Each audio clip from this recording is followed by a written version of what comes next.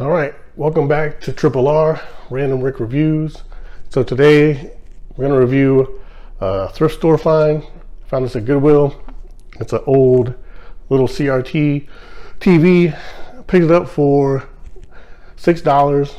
So the reason I got it, it's called old school game systems look pretty bad on newer TVs. It was six bucks.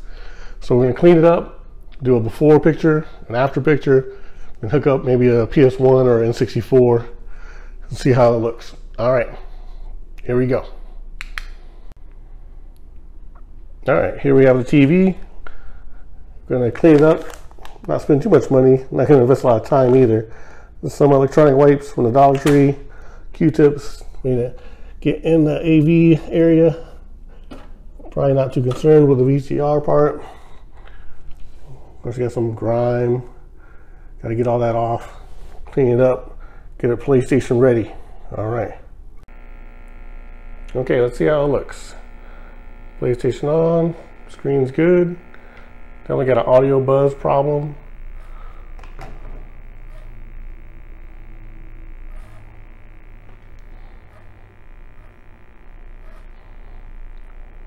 Wow, these load times are long.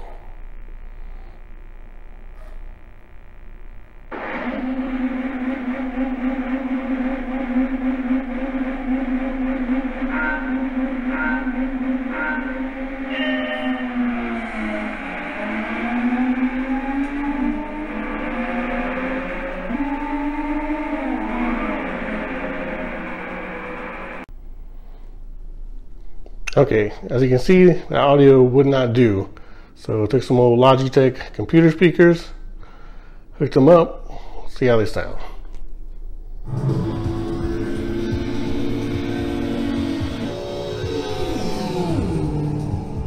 Yeah, much better, much better.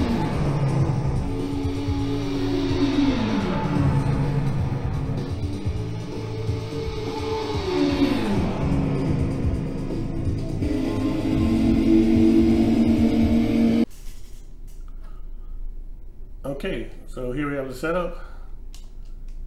As you can see, it looks pretty good. As you saw earlier, I guess I should say. Uh, overall, definitely satisfied with my $6 purchase. Uh, you can, like I said, pick a cheap CRT up, maybe some cheap PC speakers. Uh, PS1 is probably no more than $20. Um, you might want to go with PS2 since it's backwards compatible anyway and you have the whole library. I just got a PS1, like the way it looks, for the whole retro feel. Uh, so I'm satisfied with this purchase. So unlike a lot of cheap things I pick up, it's you know you get what you pay for. But the sound is bad. Had to substitute it out.